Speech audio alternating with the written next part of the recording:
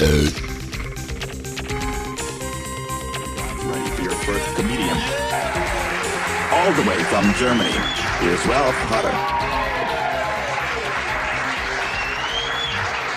Boy, look at all the good-looking people in here, huh? Boy, it looked like um, a fashion shoot. Take a picture and send it to um, a fashion magazine, you know?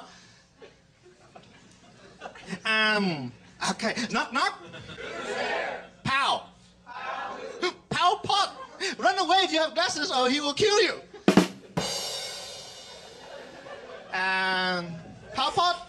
Kill people if they have glasses uh, because they thought uh, they're intelligent. So that is what he killed people for. It's crazy. If you did not know that, that's the joke, okay?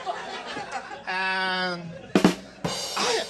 at the supermarket, so many choices in America, right? Hundred cereal, hundred soup, hundred uh, juice, right? And my wife can't make a choice, so she bring it all home. I come home, so much food, and I say, honey, what are you crazy? What we are going to waste this food? And she said, John, shut up.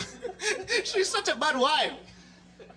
Seriously, I have to uh, think I'm going to have to kill her.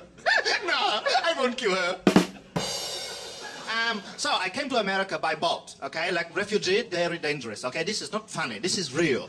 I also lost uh, some family member on the boat. Um, I lost a uh, son, my only son. I also lost um, uh, two daughters, but one daughter, she lived. But why is it always the bad daughter that live? you know, she does not eat, never eat. You know, uh, in America, she uh, so much food and still not eating. And I say eat and eat, and she gets skinny and skinny. Find out she had AIDS.